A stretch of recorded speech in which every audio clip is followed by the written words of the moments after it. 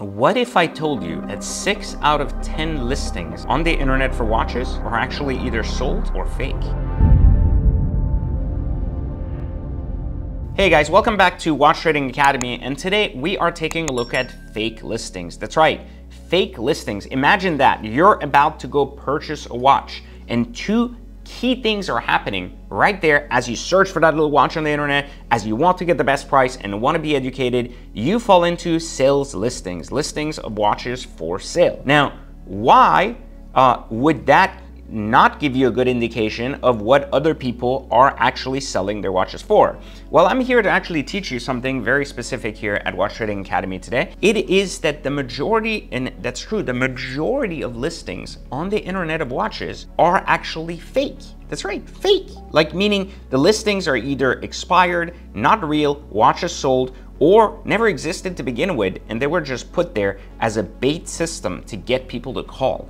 Now, the world has changed and watches main, went mainstream over the last few years, meaning these kind of tactics and strategies became a lot more obvious to people than ever before, especially when you call and are told, we don't have the watch, but we can get it in the next 30 days for you. So today we're going to take a look doing just a basic Google search and going around and seeing where are these fake listings, why do they exist, and why are they so all over the place, even on platforms like Chrono24?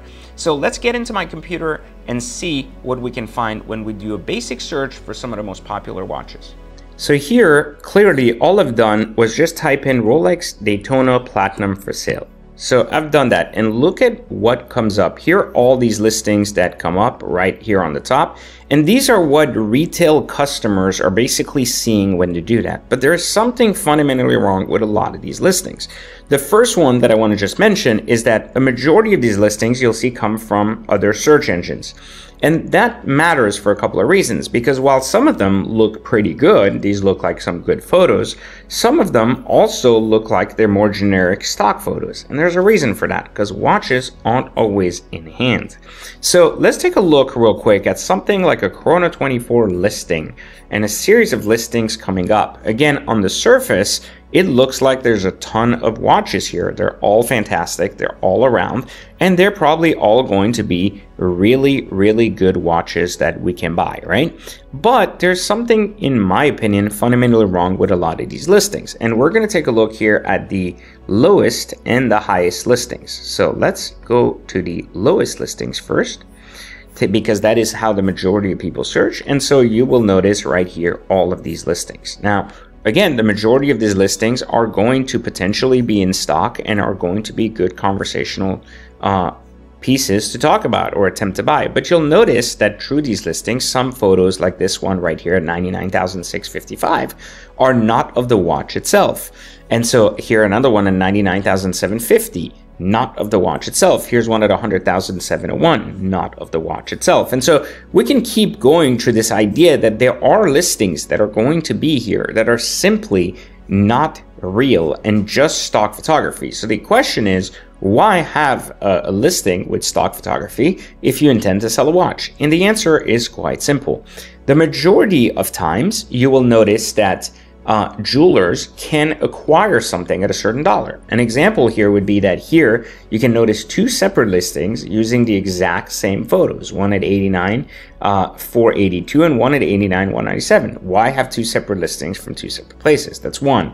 That's another form of basically stealing a photo and attempting to sell the watch. But I want to also show you something else. You see the photo listings of the ones that don't have the watch in stock, right? As an example, uh, we were looking here at 99, right now 99, 655 right here, tells you that this person is saying if you want to buy it at that or slightly below that, I can basically go here and source it for significantly less.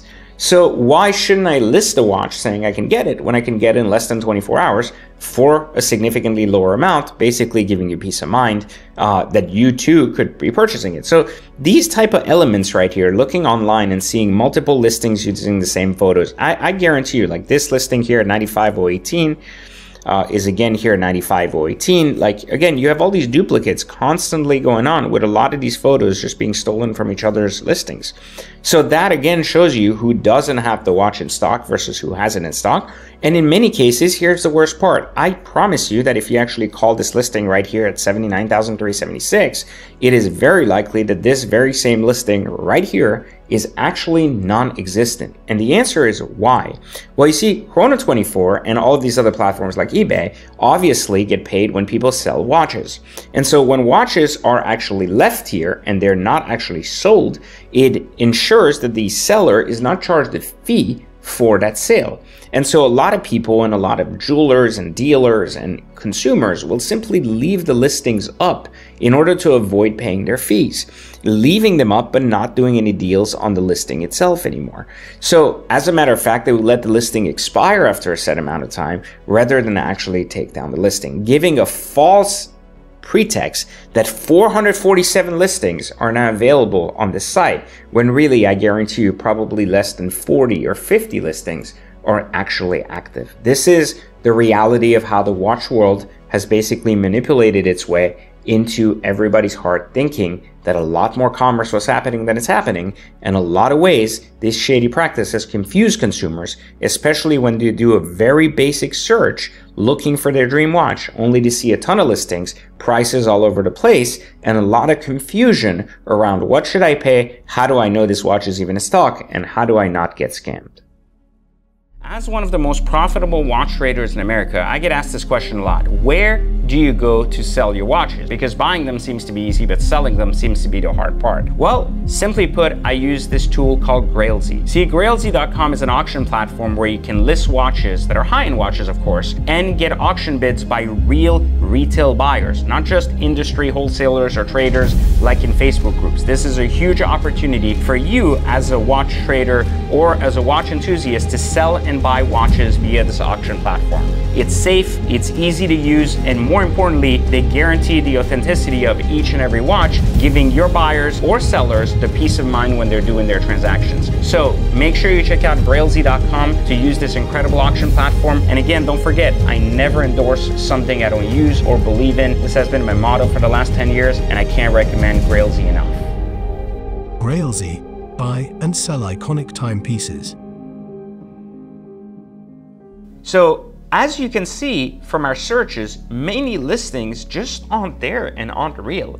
As a matter of fact, these are just how the, uh, the entire industry has been operating for years and we just were too blind to notice it. And so I wanted to kind of blast the industry and put it out there for this little shady little thing they're doing, but also tell you that there are reputable sites out there that aren't doing things like that. Like you could go to grailzee.com uh, and you could literally see live auctions taking place and every single listing is real. Every single listing is happening as we speak. And that is the difference between an auction site, for example, versus a site like you know, Chrono or some of the uh, listings you've seen where just the marketplace exists where anyone can just list anything. So you've had it right here. Make sure you like, subscribe, turn on notifications because this year, this channel will bring you more relevant information just like this to help you become a better watch trader and so much more. So again, let me know in the comments, what do you think? Why do you think the watch industry is starting to follow the commercial real estate industry by using some of these shady tactics? I'd love to know your thoughts in the comments, and otherwise I'll catch you next time for another Watch Trading Academy video. People go like, who would spend 50 grand for a watch? $50,000 watches are in the mail every day. Like I never got into buying watches because I never had the awareness. I just assumed that a used watch was just a dangerous play. I had I had no clue about watches before I started. But then I started seeing a watch trading academy and I went, that's awesome. Portable, I can do part-time, I can do it whenever I want. They're small, easy to ship, no regulation, no registration, and the dollar numbers can be anywhere from $100 to $100,000. The return on that was pretty big, uh, 35 percent ROI. And I ended up selling that watch for $9,900. Making $1,500 on a $3,000 watch was mind-blowing. The course progression has gotten me into using watches as an investment class. Buying higher end pieces, hanging on to them, watching them appreciate in value. Really just take me out of this consumerism mindset, more to this mindset of keeping your wealth while enjoying the, the item. I became a firm believer in getting investments that I can actually enjoy, not just sit in the closet somewhere. I've told you in the past, my goal is to do as little as possible and make as much as possible. It really does not take much of my time at all. You're giving us the information that's teaching us how to work with everything. I could not have imagined that this is how it's going to be. I mean, the experience is, you know, it's excellent. It's something crazy. You tell that to somebody and they won't believe it. Until you experience it and you do it and you tell them it's true. There's thousands, even millions of watches that there's plenty of money to be made. You see all these success stories. How many more do you need?